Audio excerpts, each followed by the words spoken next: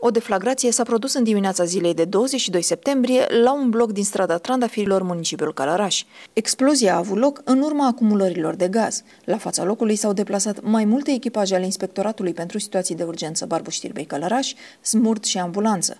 Au nu au fost înregistrate victime, însă proprietarul apartamentului în care s-a produs deflagrația a suferit un atac de panică, în cele din urmă fiind transportat la spital pentru investigații de specialitate.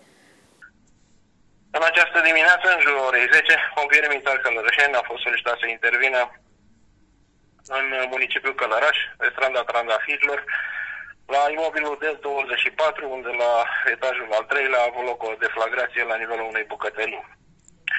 Două echipaje specializate de stingere, un echipaj de salvare de la înălțime și autoscara mecanică, două echipaje de prim ajutor zmur, care încadrează autospecialele ATPMV și zmur, s-au deplasat la fața locului, și um, pot să vă spun că, din fericire, nu avem victime.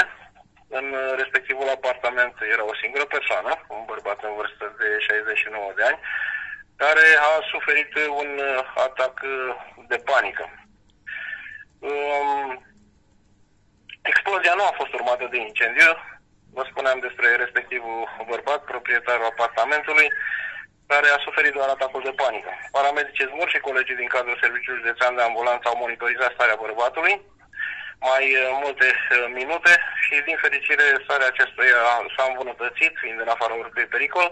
Din primele cercetări efectuate de către pompieri militari la fața locului, se pare că explozia s-a produs din cauza unei defecțiuni identificate la nivelul furtunului de alimentare cu gaz dintre butelie și aparatul de gătit iar pe fondul acestei defecțiuni a fost posibilă scurgerea de gaze în bucătăria locuinței, ulterior la acumularea de gaze și deflagrația, care au dus la deteriorarea structurii balconului din dreptul bucătăriei, o ușă și căderea mai multor bucăți de tencuială. La această intervenție nu a fost necesară evacuarea locatarilor din respectivul imobil de către pompieri, însă mulți dintre aceștia s-au speriat sau i-au autoevacuat din cauza panicii.